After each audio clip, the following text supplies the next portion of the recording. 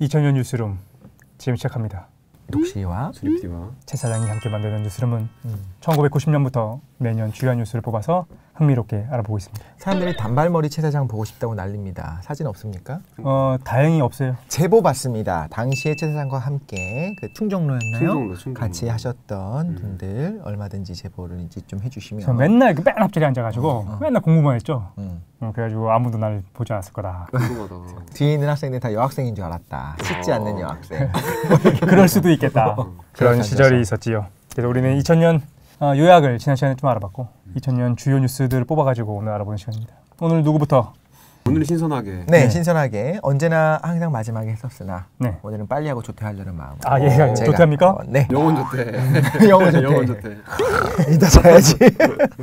제가 생각할 때 2000년의 주요 사건 중에 사실 이제 이게 가장 중요한 사건이다가 아닌 건 이미 많은 분들이 파악을 하셨을 거고. 그 썸네일 보고서. 그렇죠. 그죠, 예. 그거보다는 그냥 같이 한번 요런 일이 있었다를 알아보자. 그리고 아무것도 아닌 일은 아니고 분명히 좀 중요한 이 사건이 하나가 있었습니다. 8월 12일에 있었던 쿠르스크호, 쿠르스크 뭐 커스크, 쿠스크호 뭐 이렇게 하더라고요. 어, 그 침몰 사고가 있었어요. 음. 쿠르스크호라고 하니까 마치 배처럼도 느껴지는데 뭐 잠수함도 배일 수 있겠죠. 잠수함입니다. 네, 잠수함. 아, 러시아의 잠수함. 핵잠수함. 네, 핵잠수함. 네, 핵잠수함 하면은 뭔 것 같아요? 핵잠수함의 정의를 내려보실까요? 핵으로 원자력으로 동력을 삼아 움직이는 배 어. 그거 아니야? 잠수함. 아니면 어뢰를 아, 모르겠는데. 근데 이거 이게 맞잖아요. 핵- 이게 맞는데 왜 어. 질문을 드렸냐면 핵잠수함이라고 하면 마치 핵무장을 하고 있는 잠수함처럼 아. 생각할 수가 음, 있어서 음. 그래서 이제는 뭐 핵 추진 혹은 원자력 추진항 아 그렇게 이야기를 하기도 어, 하더라고요. 어, 어. 그래서 쿠르스코 같은 경우에는 원자력 추진 잠수함이라고 할게요. 헷갈리지 않게 하기 네네. 위해. 그럼 핵무장이 되느냐? 핵무장도 됩니다. 근데 핵무장을 하지 않을 수도 있는 건 당연히 재래식 무기만 실어놓을 수도 있는 거죠. 그래서 이거는 러시아의 원자력 추진 잠수함인 쿠르스크호입니다. 그러면 잠수함이 원자력으로 가는 애들이 있고 네. 그럼 디젤로 가거나 뭐 그런 거예요? 그렇죠. 디젤로 가는 재래식 잠수함이 있을 것이고 네. 디젤 잠수함은 항상 잠수함이 기본 컨셉이 물 위에 떠서 가는 게 아니잖아요. 바닷속에 가라앉아서 가야 되지 그죠. 거잖아요. 네. 기본적으로 네. 작전을 할 때는 그래서 바닷속에서 갈 때는 공기가 없으니까 디젤을 돌리지를 못해요. 어. 그래서 항상 부양을 하든가 아니면 뭐 이렇게 공기를 뽑아낼 수 있는 통을 위에 띄워놓고서 먼저 디젤 엔진을 돌려서 음. 발전기로 충전을 시켜놔요. 아. 그 다음에 바닷속으로 움직일 때는 그 충전되어 있는 전기로 전기 모터를 와, 돌리는 게. 재래식이에요. 야. 그러다가 지금은 이제 공기가 불필요한 그런 좀 다른 종류의 기관도 나오기는 했는데 어. 그 원자력 추진 잠수함 같은 경우에는 좀 상황이 다르죠. 일단 조그만 원자로가 들어가 있고 실제로 원자로 자체가 최초로 만들어진 게 이 잠수함에 넣으려고 그러니까 이런 식으로 작전을 위해서 들려고 군 목적으로 만든 게 최초였다고 이야기를 해요. 음. 실험을 위해서 만든 건 물론 있었는데, 그러니까 핵 에너지를 우리가 사용하기 시작했던 건 핵폭탄입니다. 무조건 예. 핵폭탄을 만들기 위해서였었어요. 그 다음에 이제 이걸 어 그럼 이 에너지를 빵 하고 터트리는 게 아니라 쭉 계속 사용해서 물을 끓여 가지고 뭔가 기관을 만들 수 있지 않을까 생각했을 때 어떤 발전소를 먼저 만든 게 아니고 음. 이 안에다 추진 기관으로서 잠수함 안에다 집어넣게 되면 괴력을 가진 잠수함이 나타나겠다 싶어서 사실상 거의 최초로 만들어진 거는 그 잠수함 안에 있는 신기하죠. 우리가 생각할 때 당연히 원자력 발전소가 먼저고 그쵸. 그걸 소형화 시켜가지고 실었을 것 같잖아요. 그러니까. 근데 그렇다고 하더라고요. 어. 그 근데 왜 핵 추진 비행기는 없어요? 그거 굉장히 중요하네요. 네, 핵 추진 비행기 있으면 그럼 엄청 좋을 거 아니야. 왜 근데 그렇게 해야 돼? 착륙 안 해도 되고 그러니까 왜 상륙하면 안 돼? 그렇네요. 디젤 쓰는 걸로. 차라리 그좀 높은 곳에서 네. 진짜 날개를 크게 펼친 다음에 음. 거기다가 태양광 집정판을 많이 해갖고 음. 오랫동안 날 수 있게 하는 것도 뭐 가능은 할수 차이 있겠다. 나니까. 음. 음. 어쨌든 그리고 높은 데 올라가게 되면 연료를 갖고 날거든요. 비행기는 그죠. 프로펠러를 돌리는 게 음. 아니라면. 근데 어쨌든 그러니까 원자력 추진 잠수함의 경우에는 원자로가 있고 음. 원자로가 있으면 항상 터빈이 있어야 됩니다. 우리가 지난번에 걸 참조하면 기본적 원자력 발전 원리를 알잖아요. 원자로는 무슨 역할을 하냐면 그냥 물을 끓이는 역할밖에 안 해요. 음. 열이 나오고 그래서 물이 끓으면 그걸로 터빈을 돌려요. 돌려야지. 그래서 여기서 이제 두 개로 나뉩니다. 음. 터빈을 돌리면 그걸 구동축에다 직접 연결한 잠수함들이 대다수고 혹은 터빈을 돌려서 그거로 또 다시 발전을 해서 음. 그 전기를 이용해서 전기 모터를 돌리는 그렇게 되는 아. 핵 추진 어, 원자력 추진 잠수함도 있고요. 그걸 진짜로 뭐 화학적 작용을 통해 가지고 빵 터트려 가지고 나가는 그런 건 없는 거죠. 그런 건 없습니다. 음. 막 핵추 팍 하면서 막 어, 뭐가 왜, 나가고 무슨 어, 그지. 왜, 왜 핵잠수함 그러면 우리 그렇게 생각하거든. 네, 막 불에 뒤에서 확 나와가지고 막 하고 막. 어, 그치, 그치. 그런 게 아니다 이런 거지. 막 핵- 핵폭탄이 뒤에 막 터져 나가면서 그런 거는 아니고 아니다. 어, 항상 물을 끓이는 겁니다. 아. 기본적으로는. 그런데 이런 원자력 추진 잠수함이니까 이제 자막 능력이 어마어마해요. 뭐 먹을 것만 충분하다고 하면 6개월 이상도 이제 잠수한 상태로 음. 유지할 수 있다고 해요. 그래서 뭐 장점과 단점은 뭐 여러 가지가 있을 수 있겠지만 기본적으로 전기가 남아 돌죠. 그러네. 어, 계속 전기가 있으니까 그 안에서 뭐 그러니까 크게도 만들 수 있고 호화로운 삶이 여기서 말하는 호화로운 거는 기존의 어떤 재래식 잠수함보다 훨씬 더 호화로운 삶을 살 수가 있는 거예요. 무슨 뭐 실제로 커다란 원자력 추진 잠수함 안에다가는 무슨 극장도 있다고 하고 아, 극장이라고? 하는 게 우리가 생각하는 그런 뭐 그거 생각하면 안 됩니다. 아, 그죠. 어, 그건 아니지만 영화 상영실도. 있고 뭐 체력 그 단련하는 그런 데도 있고 뭐 이렇게 휴식 공간이 없으면 우울하거든요. 6개월 동안 그 그렇지. 강철로 돼 있는 그 안에 있으면 힘들잖아요. 그래서 여러 가지를 하게 되는데 일단 식수 같은 것도 발전을 하니까 전기분 해갖고 산소도 무한정 만들어낼 수가 있을 것이고 또 뭐 식수 같은 것도 얼마든지 깨끗하게 정수하는 시스템 같은 걸 만들 수 있겠죠. 어. 바닷물을 가지고. 음. 그래서 정리를 하자면 예. 원자력 추진 잠수함은 소형 원자로를 탑재한 잠수함입니다. 그래서 디젤 잠수함이랑 좀 다른 거죠. 음. 원자로는 뭘 한다? 항상 물을 끓인다. 물을 끓인다. 그래서 터빈을 돌린다. 음. 그 터빈이 돌고 있으니까 그걸 구동축에다 직접 연결하는 경우가 많이 있고 음. 그게 아니라 그 터빈으로 한 단계 더 있어서 발전기를 돌리고 그 발전기에서 나타나는 그 전기로 전기 모터만 돌리는 방식도 있다고 해요. 프랑스는 그런 방식을 쓰기도 한대요. 음. 어쨌든 그렇게 되어 있고 전기가 남아 도니까 뭐든지 할 수 있다. 그래서 그 안에서 뭐, 뭐 돼지를 키워서 햄을 만들 수는 없겠죠. 음. 그 먹을 것만 있으면 충분히 오랫동안 잠항할 수 있고 일단 물 속에 들어가면 탐지가 힘들어요. 지금 기술로도. 어, 네. 물 속에 있는 거를 어떻게 탐지를 하겠어요. 그래서 실제로 여기서 좀 재미있는 일들이 일어나게 되는데 지금도 아마 미국 잠수함들이 음. 뭐 예를 들면 러시아 앞바다에 어디 참수하고 있고 그 작전 중일 겁니다. 그렇다며. 어, 음. 다 어디든 가 있는 거예요. 근데 그걸 잡을 방법이 없는 거예요. 음. 가만히 있으면 특히나 어, 디젤은 전기를 갖고 쓴다고 했잖아요. 네. 만약에 정말 모든 걸 꺼버리면 정말 조용해지거든요. 음. 근데 원자력 추진 잠수함은 어쨌든 원자로가 돌고 펌프를 돌려야 되잖아요. 음. 원자로를 끄기도 어렵고 음. 끈다고 하더라도 다시 개시하는 게 어렵거든요. 소리파가 혹시? 그래서 그렇지. 음. 음. 일정한 음. 파동에. 그쵸 어. 그게 계속 있을 수밖에 없어요. 그러니까 그 스크류를 돌리지 않더라도 하다못해 워터 펌프를 돌리는 소음은 있는 거예요. 작은 소음이 있는 거고. 음. 그 잠수함 좋아하는 분은 잠수함 영화를 보면은 이제 소나병들이 있어요. 음. 그 사람들이 항상 뭘 하라고 하냐면 이제 어뢰가 접근을 한다든가 혹은 다른 잠수함을 탐지하려고 할 때 다 조용하라고 그래요. 음. 그럼 진짜 걸어다니는 톡톡톡톡톡 하는 그 철이니까 걸어갈 때 그 소리가 들리잖아요. 네. 그것만으로도 다른 잠수함한테 탐지가 될 수 있으니까 아. 진짜 모두가 가만히 있고 이거, 이거 귀만 대고 있는 그런 장면들이 이제 클리셰처럼 나오거든요. 네. 그게 되게 중요하다고 하더라고요. 무섭겠다. 그러니까. 그런데 어쨌든 간에 원자력 추진 잠수함은 그렇게까지 조용하기는 못한다.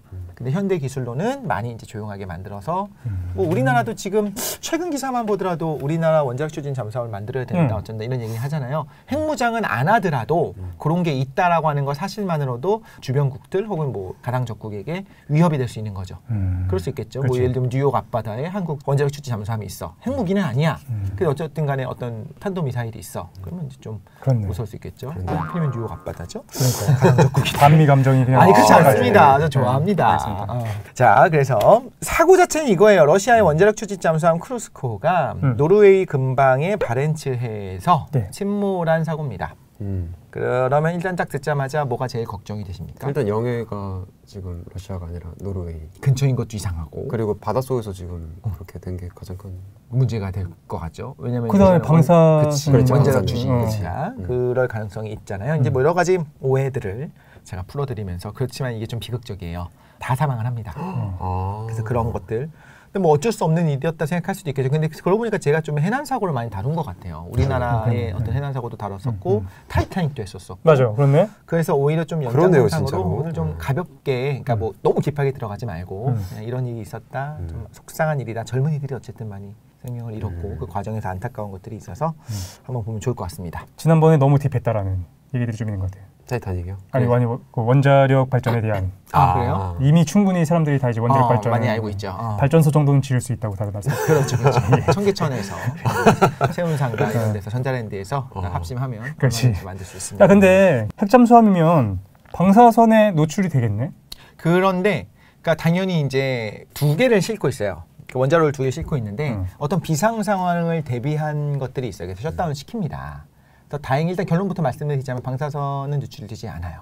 아니 그게 아니라 프로스크가 아니라 핵 잠수함 자체가 건데, 예. 어쨌든 그 얇은 철판들로 돼 있을 거 아니야. 아, 그렇죠, 콘크리트를 그렇죠. 막 어, 그렇죠. 덮어도 어. 그러면 다- 피폭되지 않나? 다 노출되는 거 아니에요? 아, 그 말은 음. 우리도 뭐 월성 원전, 한빈 원전, 고리 원전 있잖아요. 네. 거기에 거리가 일하는 좀- 사람들이 다 노출된다는 그- 거죠. 그렇네. 느껴져요. 어. 그러니까 차폐를 잘 하면 돼요. 어떤 방사선이 나오는지를 알고 있으니까. 근데 그거 어제 콘크리트도 막 쓰고 그러시- 그러잖아요. 그거는 이제 만약에 폭발하거나 그러니까 어. 노출됐을 때를 대비한 거예요. 음. 그 콘크리트 내부가 전부 다 이제 방사선에 오염된 건 아니고. 그 안에서 막 무슨 복장을 그렇게 하고 있지는 않을 거잖아요. 어, 그렇죠, 그렇죠. 음. 방사선의 종류들이 있어요. 예를 들면 알파 입자라고 하는 방사선 같은 경우에는 헬륨의 원자 핵인데 이건 종이 한 장으로 막혀요. 그러니까 종이 어. 하나만 있으면 그걸 뚫지를 못해요. 네네. 근데 얘가 만약에 그런 방사선이 우리 몸 안에서 우리 몸이 스스로 뿜어낸다고 하면 문제가 될 텐데 그게 아니라면 사실 거의 문제가 되지 않는 거죠. 그런 것처럼 음. 물론 베타 입자라든가 뭐 여러 가지 지난번에 얘기했었던 중성자라든가 이런 건 문제가 될 수 있겠지만 그 양에 대한 것들을 좀 제한을 하는 것이 있고 차폐가 가능한 부분들은 차폐를 하고 있기 때문에 괜찮아요.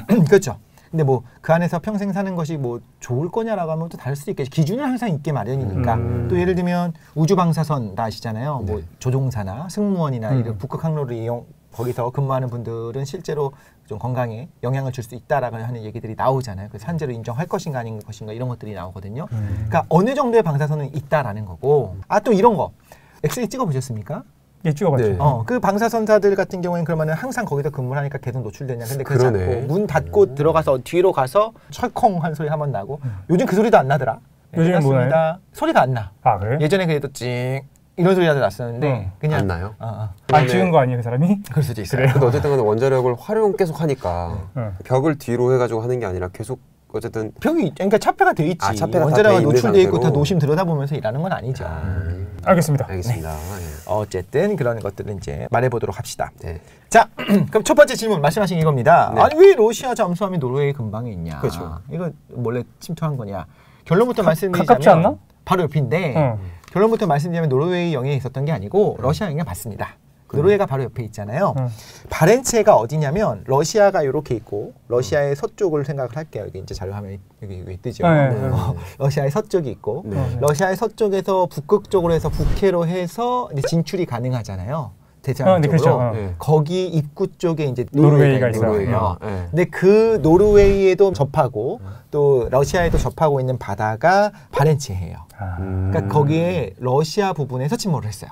음. 근데 왜 노르웨이 거라고? 떠내려갔나? 그냥 노르웨이 근방이라고 네, 제가 금- 얘기한 거는 찾아보면 다 그렇게 나오길래 아 금방 아, 금방이라서. 그냥 저도 이제 보고 나서 어 거기 혹시 여기서 작전을 했나 뭐 이렇게 했는데 그게 음, 아니고 그건 아니라. 어, 여기서 대규모 훈련을 했습니다. 아 네. 또 하나 그럼 나토 나토가 뭔지 아십니까? 대 대스 어, 북- 대서양 대서양 북미 쪽 마- 마-? 맞아요. 국제서양 네, 네, 그 사실 미국을 중심으로 하는 진짜 바보가 군사- 되겠다.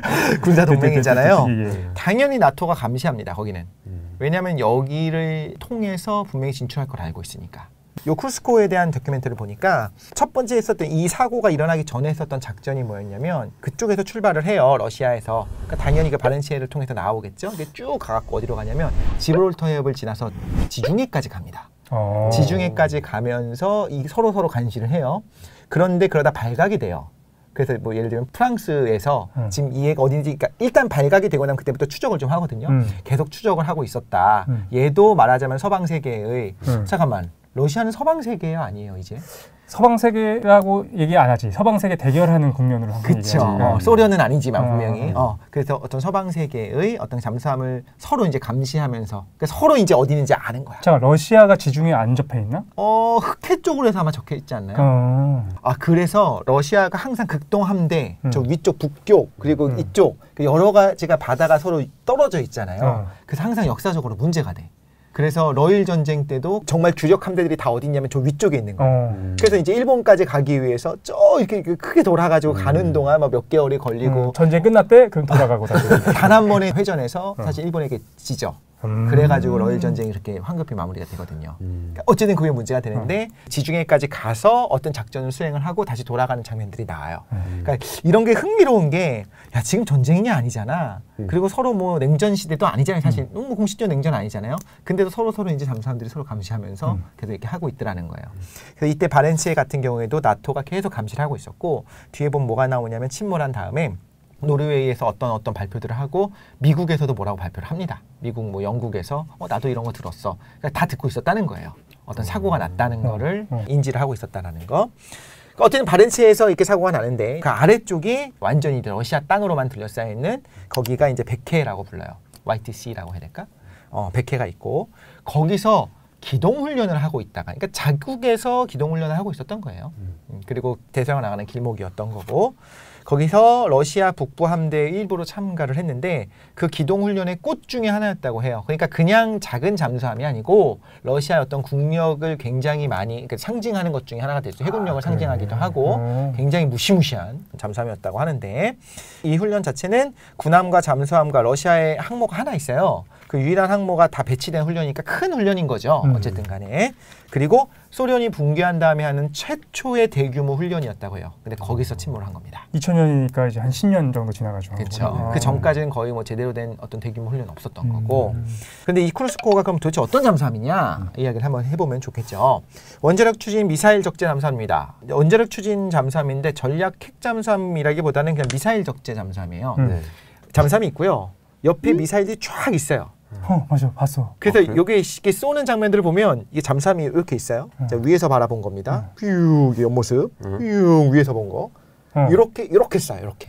제가 이렇게 잠수함이라고 하면 이 네. 옆쪽으로 쫙 이렇게 쏴요. 아. 어, 위로 쏘는 게 아니고 어, 앞으로 앞으로 쏘는 쏘- 게 아니고 앞으로 어뢰 대각선으로 쏴요. 대각선으로. 어. 대각선 앞방향으로. 어. 신기하지? 이게 이게 이게 잠수함이라고 하면 이쪽과 이쪽 라인에서 이렇게 45도 방향으로. 쫙. 이렇게 쏜다고 어. 이렇게 쏜다는 거죠. 그죠, 그죠, 그죠. 아니 앞으로 쏘는데 어. 45도로 이렇게. 사실 아니 퍼지는 게 아니라 위로 쏴 위로. 이렇게 쏜다고. 아, 앞으로 쏘는데 위로 쏜다고? 아, 45도 아. 방향 위로 아. 쏜다고. 그래서 이 미사일이 노리는 게 뭘까요? 어뢰가 아니니까 어쨌든 하늘로 날아간단 말이야. 곡사포 아니요? 곡사포. 미사일이니까. 우리 곡사포. 곡사포대 나와가지고. 어. 얘가 뭘 노릴까요? 대공 아니에요, 그럼? 지상을 타격하는 거 아니야? 아 지상 타격보다는 어. 정확히 말하자면 미국의 항모 전단에 대응하는 겁니다.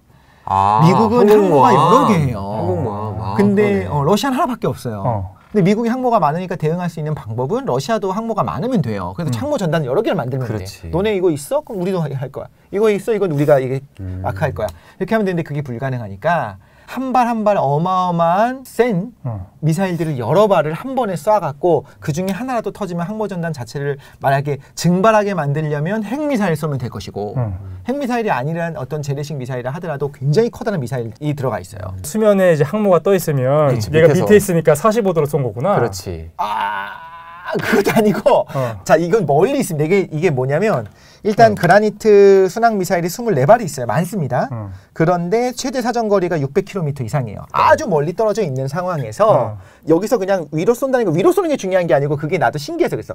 위로 수직으로 쏘는 게 아니라 이렇게 쏘더라고. 그럼 이제 어. 물 위로 퐁하고 나와요. 탄도 미사일이야. 높이 올라갔다가 쭉 떨어지는 거야. 탄도가 맞구나. 그러고 곡사포 맞네. 네, 그럼. 탄도 미사일인데 아, 뭐 이거 아. 디테일한 내용은 안 하려고 했는데 재밌더라고요. 뭐가 있냐면 한 대만 위로 날고 나머지는 아래쪽으로 이렇게 난대요. 그래서 얘가 지령을 내려 여러 대한테. 우와. 그래서 서로 서로 이게 링크가 돼 있어 갖고 어? 미사일마다. 미사일들이. 우와. 그래서 얘가 만약에 격추되면 또 딴 애가 또 지령을 내리기 시작하고 이런 걸 야, 한다고 하더라고요. 진짜 진짜. 그래서 이제 사실 이지스 시스템 같은 것들이 있으니까 위에 날고 있는 건 좀 격추하는 것이 가능하잖아요. 네. 미국에서 가만히 있지 않겠지. 어, 그래서 그걸 격추를 당하는 거를 고려해서 여러 발을, 그러니까 24발을 한 번에 쏴버린다고 하면 24발을 다 격추하기는 어렵고 곡사로 가는 거는 한 발이고 나머지들은 막 수- 수십 발이 아, 다 이거 순항 미사일이에요. 순항 미사일이야. 아, 순항 미사일이니까 아. 엔진 돌리는 그러니까 비행기 같은 거. 비행기 지가 알아서. 이렇게 가는구나. 네, 그쵸 지가 그쵸 하는구나. 비행기 미사일입니다. 어쨌든 최대 속도 뭐마 2.5 이상의 미사일 그래서 위성 항법 유도를 하고 당연히 여기서 말하는 위성 항법은 GPS는 아닙니다. GPS는 미국 거니까 음. 어, 글로나스인가 러시아도 있어요 그런 위성이 음. 그거로 이제 항법 유도를 해갖고 타격을 하는 거고 이름이 다르구나. 음. 그러니까. 그렇죠. 안드로이드 아이, iOS 그런 거. 그런가, 그런 거 그- 같다. 어 거기 보면 우리 그 GPS 뭐 위성 항법 시스템 있잖아요 재원을 보면 GPS 플러스 글로나스 막 이렇게 써 있어요. 아, 진짜. 어. 그래요. 어, 러시아 쪽도 있습니다. 그게. 음. 신기하다. 근데 요게 좀 그런 것 같아요. 그래서 실제로 뭐 전쟁을 하겠다는 거니 그거라기보다는 너희들이 항모 전단이 돌아다니잖아. 우리는 핵무장을 한 24살의 미사일을 가지고 있는 잠수함이 여러 척이 어딘진 모르겠지만 어디 여기저기 있어라고 하는 것만으로. 억제력이 되는 거지. 무서워. 어. 어, 딱 이렇게 만들어 놓은 그런 겁니다. 취역은 언제 했냐면 94년 12월 30일, 얼마 안 94년 됐네. 12월 30일에 음, 취역을 한 10월 거고, 때까지. 그쵸. 길이는 154m, 폭이 18.2m, 높이 9.4m, 굉장히 큰 잠수함이에요. 우리 예전에 강릉 무장부 및 찡투할 때 그때 어떤 북한의 잠수함 이런 사이즈랑 좀 비교할 수가 없고, 그건 당연하고 예, 핵 추진이니까.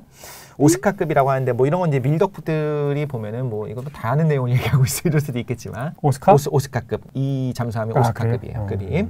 그리고 아홉 개의 수밀 구역이 있어요. 사실 타이타닉 때도 얘기했었던 것 같은데 배에는 이런 식으로 이렇게 구획을 나눠 놓습니다. 음, 음. 혹시 앞에 손상이 가더라도 뒤로 이제 물이 들어오지 않게 폭발 사고가 나더라도 막을 수 있게 음. 아홉 개의 수밀 구역이 있고 그 두 개의 원자로가 있는데 워낙 크고 중간에 되게 두꺼운 고무판을 또 대놓고 해갖고 조용하게도 만들어 놓고 여러 가지를 음. 이제 국력을 많이 이렇게 사용한 거죠.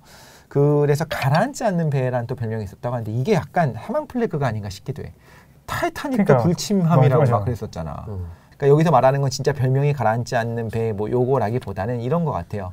야 얘는 진짜 안 가라앉는다. 이렇게 안전 시스템이 있고. 신기하게 잠수함인데 가라앉지 않는 배라는 말이 아, 그러네. 널센스 잘못? 만들었어. 네, 네, 네. 안 갈았네. 어쨌든 침몰하지 않는다. 네, 완전 침몰하지 다- 않는. 뭐, 뭐, 예. 그리고 한간에 있는 어떤 내용과 다르게 너무 위험하게 만들었다. 위험하게 만든 부분들도 물론 있어요. 그리고 소련이 붕괴하면서 좀 관리가 제대로 안 돼 있는 부분도 분명히 있었고 그렇기는 한데 안전 같은 걸 완전 무시해서 만든 배는 아니에요. 음. 탈출할 수 있는 여러 가지 해치들도 있었고 장비들도 있었습니다. 그러니까 애매했겠네. 1, 2년 안에 만들 수 있는 배가 아닌 거잖아. 그렇죠. 그렇지. 근데 이제 94년도에 취역을 하고 그러면 소련이 붕괴되기 전부터 계획해서 만들었던 것이고 그렇죠. 중간에 어떤 정치적인 문제가 발생했으면 뭐 예산이나 인력이나 바뀌었을 거고 그렇죠. 음, 문제가 좀 있었을 수도 근데 있고. 설계 당시부터 이제 물론 위험한 요소가 있긴 한데 음. 아주 위험하게 만든 거라기보다는 만약에 서서히 가라는 이렇게 폭발 사고예요. 폭발이 일어났어요. 근데 그게 아니었었으면은 사람들이 탈출할 수 있는 수단들이 있었다는 거죠. 그게 없는 음. 배는 아니었다는 거죠. 음. 심지어 생각해 보면 로켓도 탈출하는 수단이 있는 거 다 아세요? 사람들이 잘 몰라 그거는 어떻게 로- 탈출해? 로켓이 이렇게, 이렇게 올라가다가 만약에 문제가 생겼을 때 탈출을 못할 것처럼 느껴요. 그냥 빵 하고 터져버릴 거고 그냥 어. 끝나는 것 같잖아. 어. 근데 그러니까 예전에 우주왕복선이 좀 그랬던 시기가 있긴 한데 음. 기본적인 설계 자체는 탈출할 수 있는 방법들이 있습니다.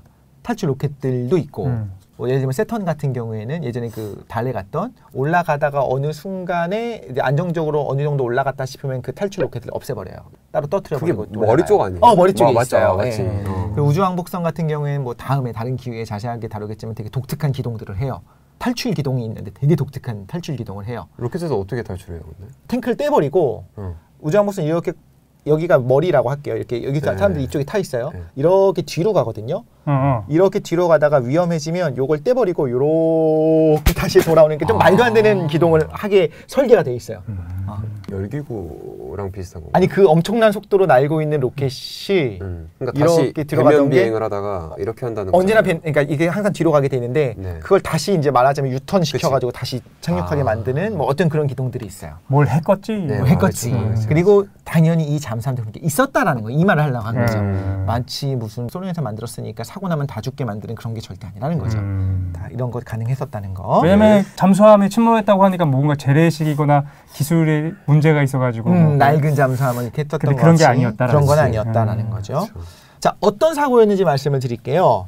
사고 발생 초기에 이제 러시아 당국이 발표를 합니다. 뭐를 다르게 발표를 하냐면 사고 난 시각도 잘못 얘기하고 음. 잘못인지 의도됐는지 어쨌든 실수인지 탑승 인원 숫자도 실제랑 다르게 했었어요. 음. 그러면서 국제사회가 지원을 하겠다는 것을 거부를 합니다. 음. 자, 국제사회에서 지원을 하겠다고 하는 건 당연히 도의적인 것도 있겠지만 또 뭐도 있을 거라고 봐야 되냐면 러시아 입장에서는 음. 이건 최신의 잠수함이에요. 음. 그리고 서방 세계를 타격하기 위해 그걸 타겟으로 만든 그렇네. 겁니다. 그 정보들을 또 가져갈 수 있는 그럼요. 얼마든지 거니까. 그럴 수 있는 네. 거죠. 그래서 잠수함의 재원이나 기밀 정보 같은 게 노출될까봐 그거를 다 거절했다고 이야기를 해요. 음. 이런 얘기도 있습니다. 그리고 우리 핵무장을 한 거 아니었다. 그러니까 핵잠수함은 맞는데 여기 이제 뭐 핵무기는 실지 않았다고 했는데 음. 나중에 노르웨이가 어, 핵무기도 탑재 사실이 확인됐다라고 발표했다고도 합니다. 음. 근데 그게 이제 발표했었던 제가 찾아본 아티클들은 이 사고가 난 지 얼마 안 돼, 뭐 2001년, 2002년 발표거든요. 그건 사실 2020년 지금 와서 다시 했을 때 또 다른 결과 나왔을 수 있는데 그건 못 찾았어요, 사실. 어. 어쨌든 행보장을 했을 수도 있다. 제가 궁금한 게 음. 이게 국제사회로부터 어쨌든 간에 도와주겠다라는 말이 있었다고 했잖아요. 네. 그러면 아까 폭발 때문에 일어난 일이라고 했는데 그럼 네. 그땐 많은 분들이 사망을 하기 전인 건가요? 그게 이제 바로 나올 겁니다. 아, 그래요? 그 중요한 부분입니다. 어, 네. 일단 어떻게 발표를 했냐면 처음에는 대규모 충돌 사고가 났다. 그러니까 이거는 이렇게 생각해야 될 것 같아요. 사고가 나자마자 어 이거 폭발 사고 났구만 하고 알지 않아요. 인양을 해야 아는 부분들이 있는 거예요 분명히 아니면 잠수사들이 가서 보든가 아. 생각보다 왜냐하면 잠수함이 있는 거 탐지하기 어렵다고 했잖아요. 네. 그러니까 러시아 입장에서도 그 같이 훈련을 하던 입장에서도 뭔가 이제 폭음이 나는 건 들렸는데 그 이- 아, 이 설마 이 배가 사고가 나서 음. 침전했을 거라는 생각도 못 하고 아 왜 연락이 없지 하면서 기다리는 거예요. 연락을 할 수 있는 방법이 없습니다. 기다리는 거예요, 그냥. 그게 잠수함 영화들을 보면 나와요. 어디에 있는지 모르는 그 잠수함이 먼저 선택을 시도하든가 해야지 이쪽에서 지령을 내는 게 불가능하거든요. 찾는 게. 그래서 그러다가 그날 그러니까 오전이었는데 오후쯤 됐는데 아직까지 연락이 없으니까 아, 이거 뭔가 사고가 나긴 났구나 하고 해서 찾기 시작했다고 해요. 나중에 이제 밝혀진 거로는. 근데 어쨌든 간에 초기에 이제 러시아 당국이 이제 국제사회에 발표를 하기로는 충돌 사고가 났다. 음. 그런데 어, 미국이 해군 잠수함 두 척이 그 근처에 있었다 이야기를 합니다. 미군이 우리 잠수함 있었어. 근데 해당 사고랑 무관해 이렇게 주장을 했다고 해요. 미군이 네, 미군도 거기에 잠수함이 있었던 거야? 다 보고 있었던 거죠. 그러니까 미군은 뭐 거기까지 가 있었어요? 훈련을 하고 그러니까. 있으니까 미군은 뭐 자기들이 경찰 나라라고 하고 여기저기 뭐 어. 하고 있으니까 그리고 사실은 이런 대규모 훈련을 한다고 했을 때 노르웨이 쪽이라든가 영국이나 프랑스나 음. 이쪽에서 미국이 오길 바라지 않았을까요?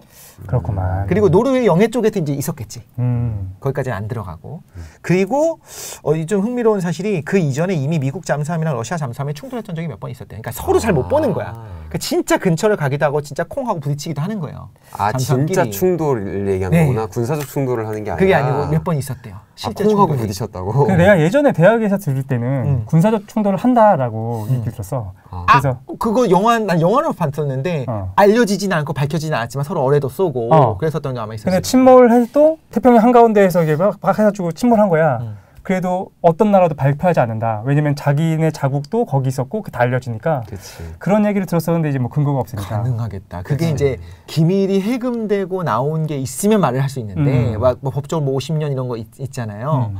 그러네. 그리고 우리 영해가 아니잖아. 음. 그리고 확전을 바라는 나라는 없잖아. 그렇지. 그리고 얘네들이 둘이 싸우기 시작해. 예를 들면 작전 중에 싸워. 근데 그거를 저쪽에도 몰라. 나중에 결과가 나와야 알아. 음. 그러면은 저기 헤드쿼터 입장에서 어떻게 보일 거냐면 지령을 내려놨어요. 너희가 작전을 수행하는데 만약에 적국이 있으면 교전해도 좋다라는 명령을 내려놓고 한 3개월 지났어. 음. 그 명령을 바꾸질 않았어. 뭐 크림슨 타이드라든가 그런 게 그런 내용들이 좀 나오거든요. 아 그래요? 어. 그 최종적으로 받은 명령이 핵을 쏘라는 거였어. 아, 어. 아. 핵을 쏘라는 명령을 받았는데 통신 장비가 어, 통신 장비가 고장났어요. 고장이 난 거야. 어. 그러면은 누군가는 이 함장은 혹시나 그 명령을 철회했을 수도 있지 않냐. 근데 정말 매뉴얼대로라고 하면은 마지막으로 들은 그 메시지를 시행을 해야 되는 거예요. 음. 그래서 함장은 계속 핵미사일 진짜 쏠라고 하고 소련이 쏠라고 했나? 그리고 근데 부함장이 그걸 계속 막고 그다음 만약 서로 영창 가고 막 난리 난리 나는 그런 상황이었습니다. 스타일이었지. 어. 그러니까 그 잠수함 시스템이 어떤 건지 알아야 요 상황이 좀 이해가 갈 수 있을 것 같아요. 그리고 어. 최 사장님이 말한 게 되게 중요하네요.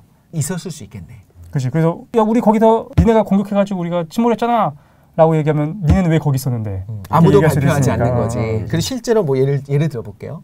러시아랑 미국의 어떤 잠수함이 교전을 했어. 음. 아까 말한 것처럼 미국 잠수함 한 2개월 전에 이제 지령을 받은 게 있었어. 움직이다가. 근데 여기 입장에서는 어 이제 미국 잠수함이 작전을 다 수행하고 와야 되는데 안 오는 거야. 연락이 끊겨 있는 거야 그냥. 어. 그럼 어떤 일이 있었겠구나 추정은 할 수 있는데 예를 들면 어느 잠수함 누구를 만나서 어떤 교전이 일어났는지 모를 수도 있는 거지. 음. 그렇네. 바다, 바다에 가라앉아. 네, 여기까지는 모두 저희가 이제 뇌피셜이고 그쵸. 확실한 근거가 없음을 어, 대표드립니다. 소설, 네, 네, 소설이죠. 네, 네. 소설을 썼습니다. 어. 그리고 이제 러시아 당국이 영국의 잠수함이랑 충돌을 하면서 이제 폭발을 인정하기 시작한 거예요. 충돌하는 그 충격으로 어뢰가 폭발했을 가능성이 있다 이렇게 발표를 합니다. 영국은 또 왜 거기 있어? 그러니까 음, 그러니까 다 영국은 모여 있어 다 거기. 모여 있네. 전 세계 잠수함들 다 모여 있는 거 아니야 거기? 방팅하고 있어. 뭐. 듣고 나니까 듣고 나니까 그럴 네. 것 같지 않아요? 대규모 훈련하는데 과연 있을까? 뭐 예를 들면 우리나라가 미국이랑 네. 대규모 훈련하고 있는데 어느 정도 거리를 두고서 중국에서 그걸 안 보고 있을까? 보고 있 보고는 보고 이게 있겠죠. 보고 있겠죠. 아, 근데 어쨌든 영국은 또 즉각 부인을 그러니까 합니다. 다 잠수함들이 거기에 이렇게 있었던 그 근처에 이렇게 다 있었던 거예요. 그렇죠. 그러면서 이제 말하자면 아주 조용히 스크를 네. 돌리지 않고 가만히 있으면서 이제 주변을 파악하고. 있었을 수 음. 있었겠죠. 그리고 최신의 잠수함이고 어떻게 보면 굉장히 중요한 러시아의 전력이잖아요. 그거에 대한 정보를 어떻게든 얻으려고 혈안이겠죠. 서방 세계에서도 그렇네. 당연히.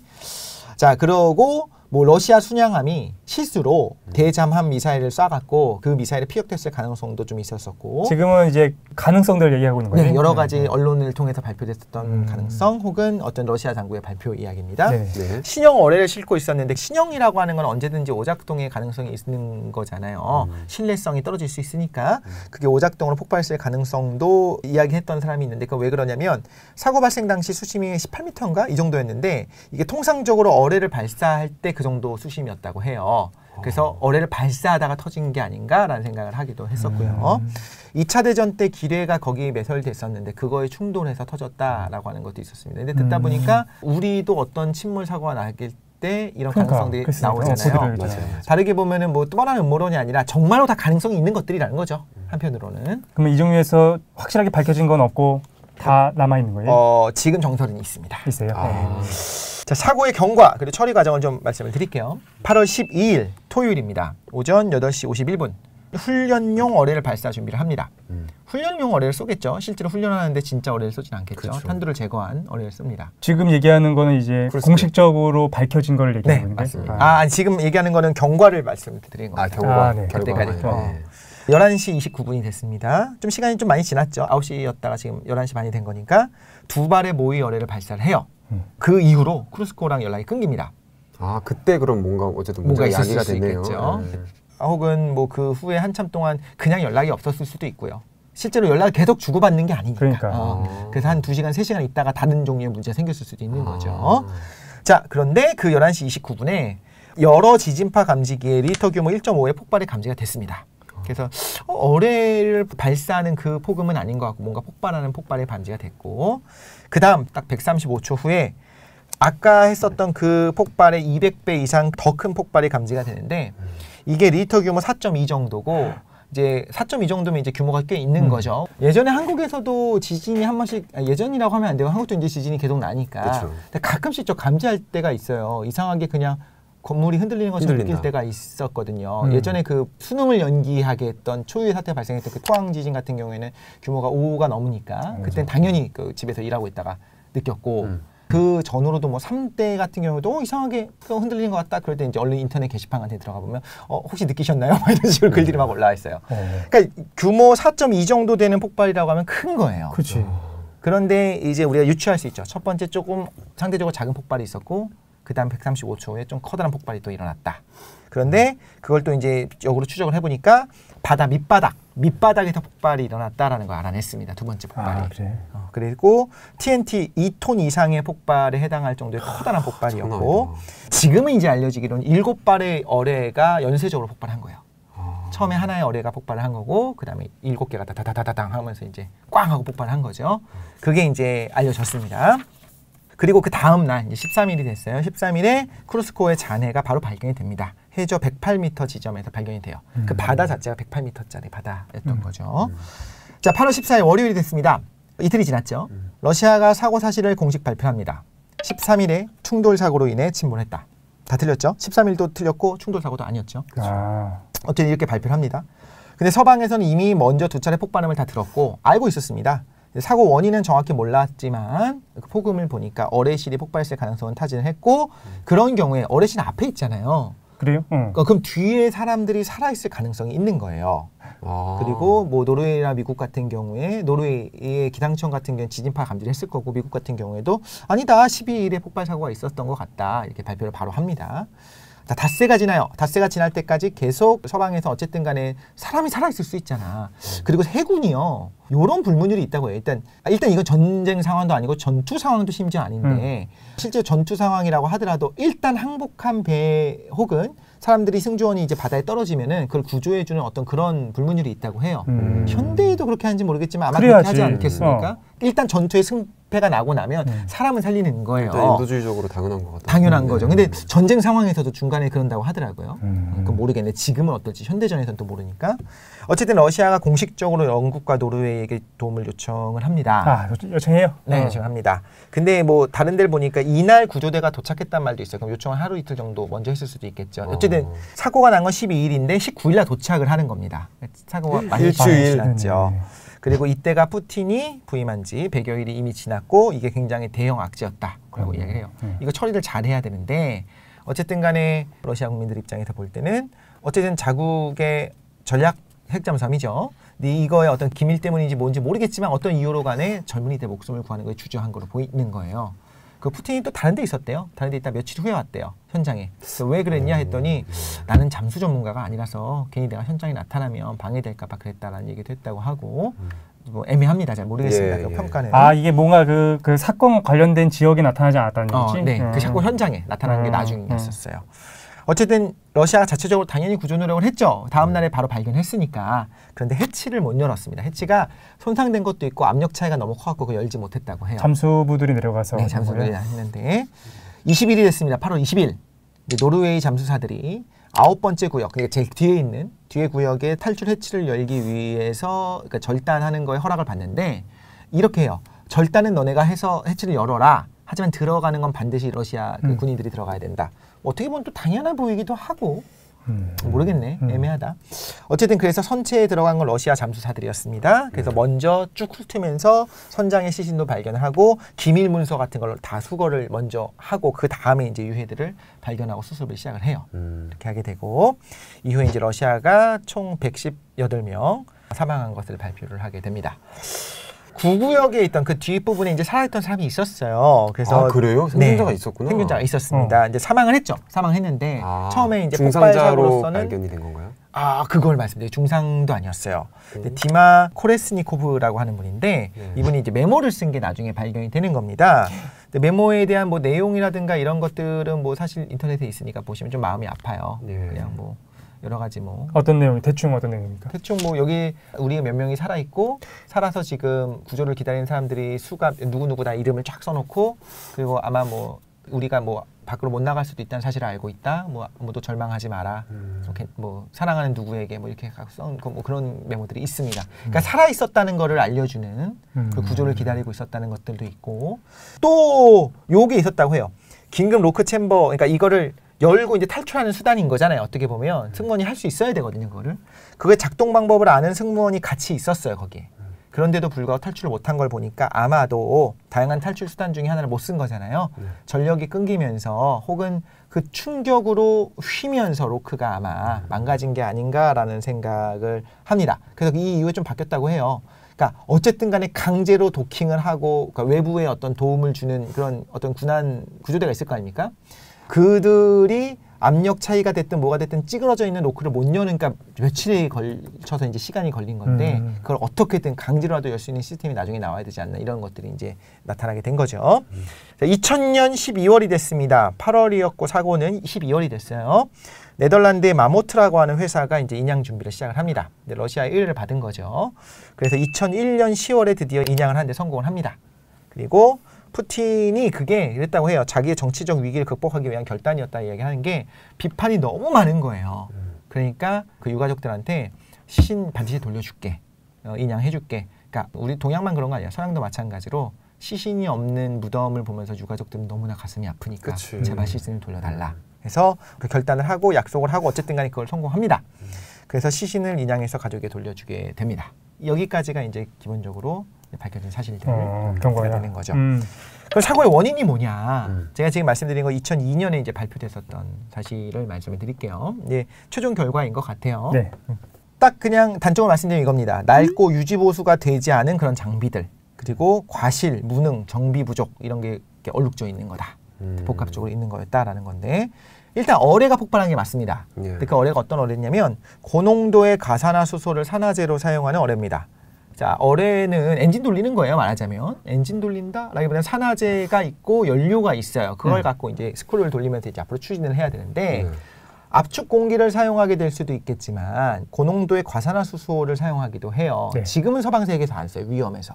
그러니까 음. 얘가 정말 어떻게 보면 화력을 높게 만들 수가 있거든요. 고농도의 과산화수소는 어느 정도가 가능하냐면 로켓의 연료도 쓸 수 있을 정도로 아. 굉장히 이제 산소를 많이 포함하고 있는 거죠. H3 뭐 이런 거예요? H. 어, 과산화수소는 H2O2인데 음. 물은 거의 없고 정말 거의 과산화수소 덩어리라고 한다면 얘가 분해가 되게 되면 굉장히 급속도로 분해가 되거든요. 아 물에다가 산소가 하나, 하나 더더 붙는구나. 아. 근데 이제 액체 물과 산소로 분해되는 것이 아니고 어. 수증기랑 산소로 분리가 돼버려요. 순식간에. 그러니까 어. 산소가 엄청나게 쏟아져 나와요. 음. 그런데 얘가 불안해요. 불안한데 가만히 놔두면 안정적입니다. 근데 만약에 새어 나와서 무언가 촉매가 될 만한 부분에 부딪혔다라고 하면은 그러니까 노출됐다고 하면 갑자기 팽창하면서 폭발할 수 있는 거죠.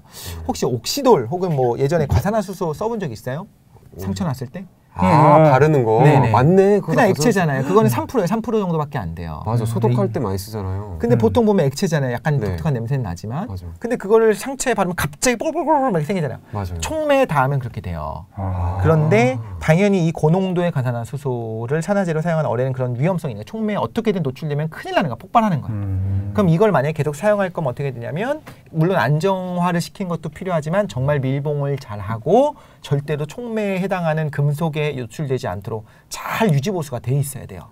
만에 하나 노출되면 터지는 겁니다. 음. 그런데 용접에 결함이 있었던 걸로 추정을 해요. 그래서 조금씩 새어 나오다가 그게 어느 순간에 촉매 역할을 하는 금속 같다 하면서 막 미친 듯이 분해가 되다가 어뢰의 연료 등유가 폭발을 한 거다라고 이제 발표를 최종적으로 한 겁니다. 과거에 문제가 골마 있다가 그때 네. 터진 거라면 골마 있다가 이게 애매한 것 같아요.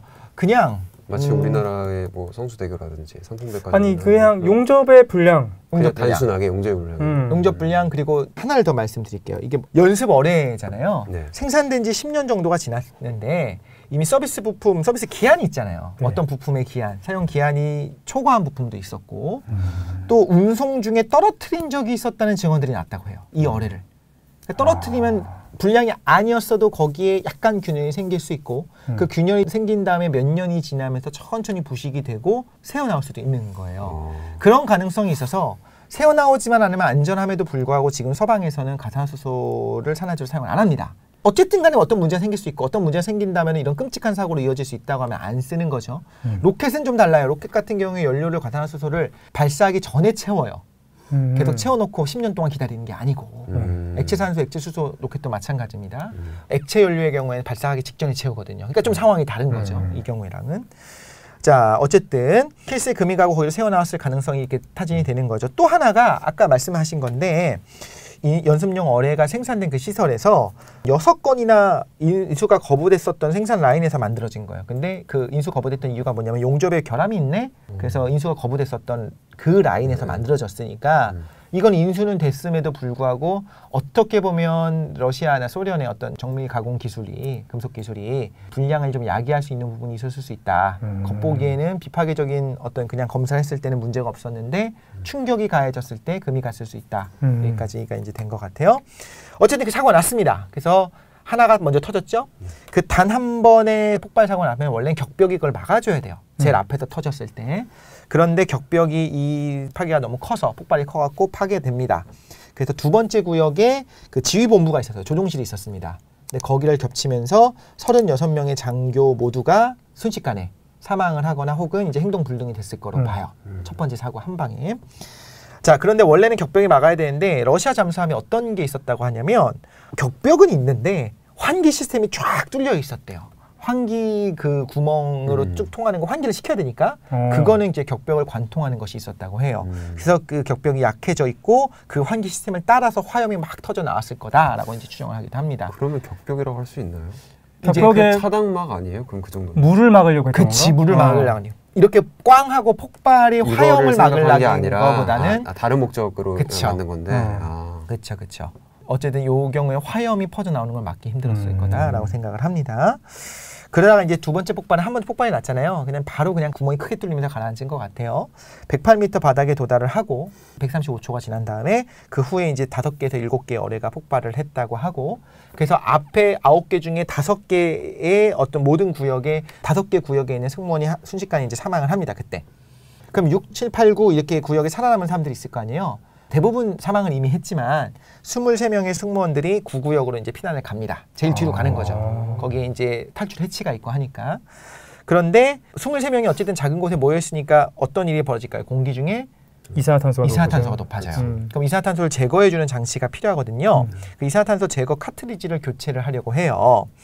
약간 과학 얘기가 좀 나올 겁니다. 거기에 어떤 원리로 제거를 하냐면 초과산화 칼륨이라고 하는 화합물질이 담겨 있는 카트리지예요. 음. KO2라고 합니다. 음. 원래는 칼륨이 산소랑 결합하면 산화칼륨이 되면서 K2O가 돼야 돼요. 음. 그런데 K2O를 넘어서 K5. K5를 넘어서 K5.2니까 칼륨 하나에 산소가 너무 많은 거예요. 음. 포타슘 하나에 산소가 너무 많아.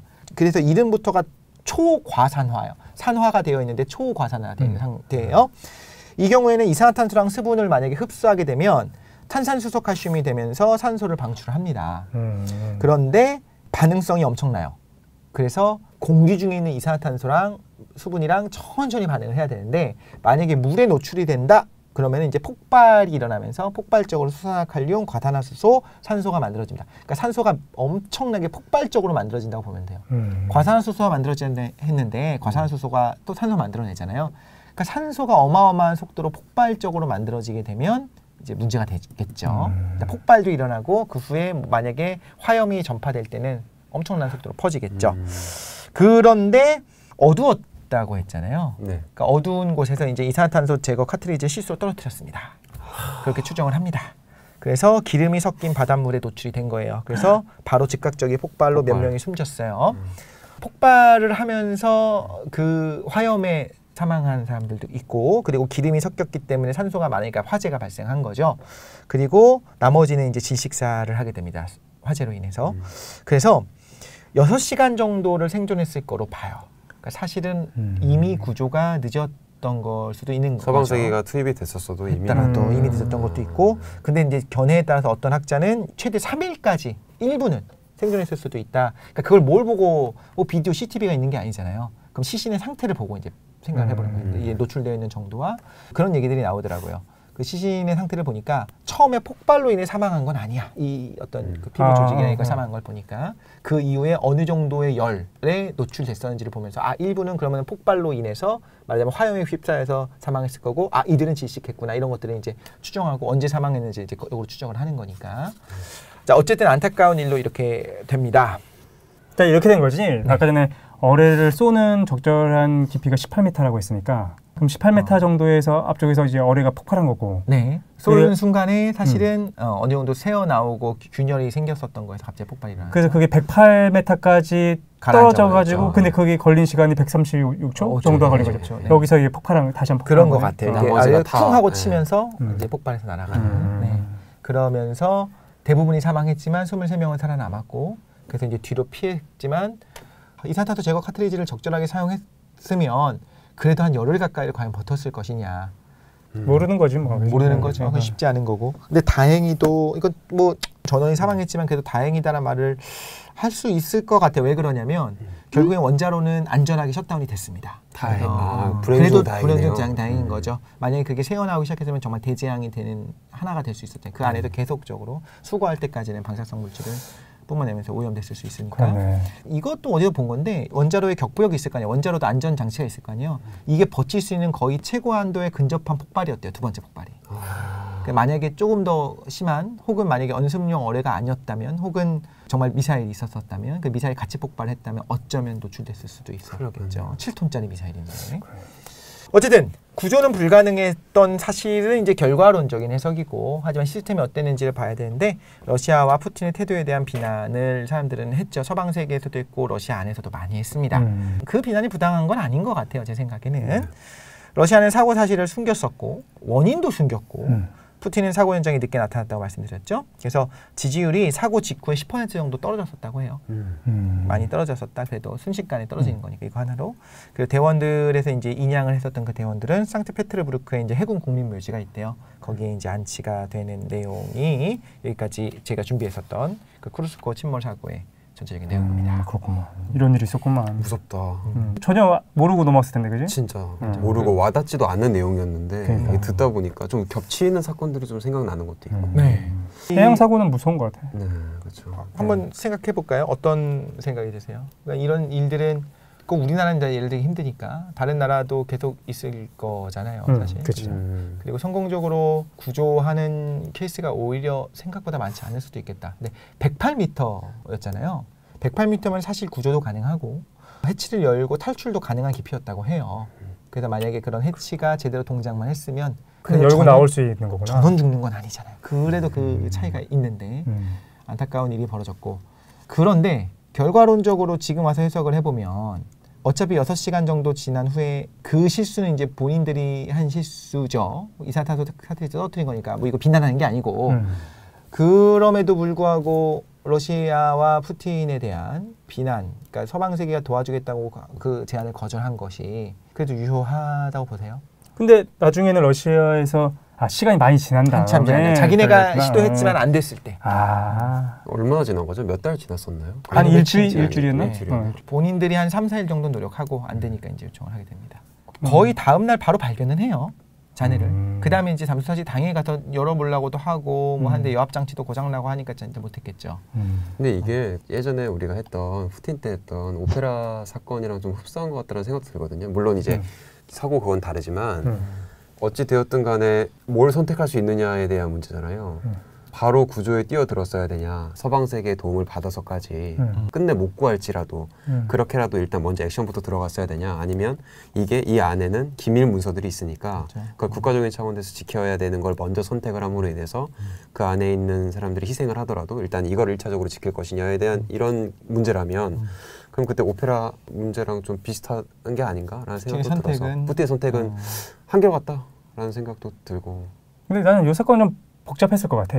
왜냐면은 음. 어쨌든 우리가 구할 수 있는 역량이 있는지 없는지에 대해서 선택하는 그 당시에는 모르잖아. 음. 그리고 우리가 구할 수 있는지 없는지에 대해서 모르는 상태에서 무조건 덥석. 해, 해와해서 도와준다고 해가지고 무조건 다 하기에는 그렇죠. 통제의 문제도 발생하고 음. 일처리 문제도 발생하고 그러니까 이거는 단순히 이제 아 오페라 때랑은 비교할 수 없다. 어 이게 좀 더 복잡했을 것 같아 선택하는 어떻게 문제에 보면 있어가지고 당연한 걸 수도 있겠네요. 일단 우리가 먼저 해볼게라고. 하는 건 당연할 어, 수 어. 있겠네요. 실제로 바로 다음 날 접근을 해서 이 접안을 하고 해치를 열려는 시도들을 해요. 음. 그러니까 해치가 어디 있는지도 못 찾고 어디 있는지도 모르겠고 이러면 문제가 되는데 음. 바로 다음 날 찾고 시도를 하는데 이제 해치가 손상이 된 거예요. 그 폭발이 너무 커서 음. 그래서 열지를 못한 거죠. 그러면 그 부분도 일리가 있다. 그리고 그렇지. 음. 사실 민간 잠수사들을 사용한다고 영국이나 노르웨이 잠수사를 사용한다고 하더라도 그 사람들이 이제 영상을 찍을 거 아닙니까? 네. 그 그게 정보부로 넘어가서 그거를 정말 매의 눈으로 감시 뭐가 있었는지 이 잠수함이 어떤 건지 음. 안 하, 당연히 하겠죠 그거는. 음. 그러니까 여기서도 아니까 너네는 절단만 해줘. 들어가는 거 우리가 먼저 들어가야 돼 해서 이제 군인들이 먼저 들어가거든요. 러시아 군인들이. 음. 근데 뭐 편을 들자는 건 아니고 음. 사실 이 해난 사고는 참 가슴 아픈 일들이 있으니까. 그런데 이게 어쨌든 구할 가능성이 없었던 건 아닌데 음. 잠수함 승조원 모두가 사망하게 된 어떤 그런 가슴 아픈 커다란 사건으로 어, 많이 남아 있고 아마 지금 이 이후의 시스템도 많이 바뀌지 않았을까 싶어요. 그리고 요 사고가 꼭 비단 러시아뿐만 아니라 많은 해군들에게도 큰 사례로 많이 알려지지 않을까요? 그렇겠지. 어. 네, 여기까지가 제가 준비를 한 겁니다. 어, 사실 이거 되게 별거 아닌 토론거리가 있어요. 뭐 예를 들면 이런 거 생각을 했습니다. 이게 토론거리가 뭐가 있을까 싶긴 했는데 메모가 발견된 게 있어서 음. 아. 만약에 희망이 적고 없다 하기보다는 적고 죽을 가능성이 높을 때 내가 그래도 사랑하는 사람들에게 그리고 다른 사람들에게 뭔가 메모를 남길 수 있을 때 어떻게 남길 것 같은지 사실 궁금해요. 뭐 갑자기 슬픈 내용을 그렇게 갑자기 갑자기요? 그 맞아요. 메모가 좀 슬프기도 하면서도 음. 그걸 담담하게 받아들이는 그 상황을 받아들이는 게 좀 대단하다 아, 생각했습니다. 그랬어요? 음. 이 부분을 음. 그 예전에 일본 항공 1, 2, 3편이라고 하는 그 비행기에 추락한 적이 있었어요. 네. 그 추락 사고에서도 여러 개의 메모들이 발견이 됩니다. 음. 추락하는 와중에 이제 사람들이 많이 사랑하는 사람들에게 가족들에게 남겨요. 음. 그거랑 같이 연계를 해서 우리도 한번 팟빵 가서 얘기를 잠깐 해보면 어떨까? 아 그래요? 음. 잠깐 생각할 시간을 주시는 거네요. 음, 그렇죠. 아, 예, 알겠습니다. 네. 어쨌든 그 오늘 전체적인 내용 잘 들었고 예, 이번 뉴스룸을 통해 가지고 음. 독실이 컨텐츠를 통해 가지고 많이 알게 된 거는 음. 해양과 관련된 어떤 사건 사고와 사고. 원자력에 대해서 음. 네. 굉장히 많이 알게 된 건 아닌가. 꽤 많이 했죠. 꽤 많이 그, 했어요. 어, 저도 모르게. 딥하게 굉장히 딥하게 음. 들어갔던 것. 원자력 발전소 한번 만들어 보는 걸로 어, 어, 청계천 가가지고 한번 안전이 제일 중요합니다. 그렇죠. 어. 예, 흥미로웠던 것 같고 어, 잘 들었던 것 같습니다. 네. 그러면 일단 2000년도 가장 중요한 뉴스 중에 하나 네. 또 우리 가 살펴봤던 비극. 제목이 뭐였지? 이름이 쿠르스크. 쿠르스크. 아, 참, 요 영화가 있습니다. 2017년인가 이게 얼마 안 됐어요. 음. 네. 그 영화에 제가 좋아하는 배우, 영국 배우 콜린 포스가 네. 영국의 그 함장으로 나와요. 구조를 해야 되나 말아야 되나 망설이는. 그게 좀 애매하죠. 왜냐하면 음. 러시아의 잠수함의 침몰이에요. 어, 근데 어쨌든 영국의 어떤 함장으로 나와서 고민하는 내용들이 나오거든요. 제목이 뭡니까? 어 쿠르스크입니다. 아 제목이 쿠르스크야. 네. 뭐 약간 이제 그 갈등을. 그것도 생각나네요. 그 덩케르크. 아 덩케르크. 어. 덩케르크도 비슷한 게 있죠. 약간 뭐 그런 것들이 있죠. 배에서 어. 민간 맞아. 우리가 네. 가야 되나 고민 어 고민 목숨 네 걸고. 그렇죠 맞아요. 관심 있는 분은 그것도 한번 보시고 음.